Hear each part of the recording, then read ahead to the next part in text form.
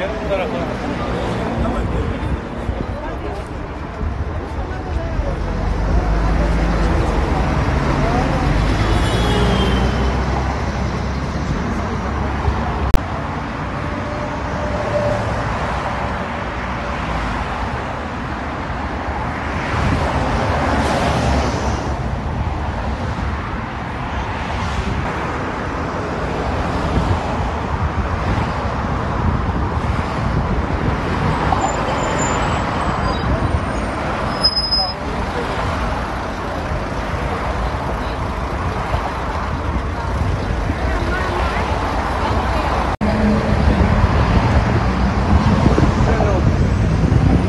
Daha fazla video izlemek için kanalımıza abone olabilir, ilk izleyen olmak isterseniz bildirimleri açabilirsiniz.